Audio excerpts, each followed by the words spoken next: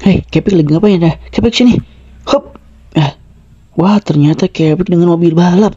Lagi ngapain kau di sana, Kepik?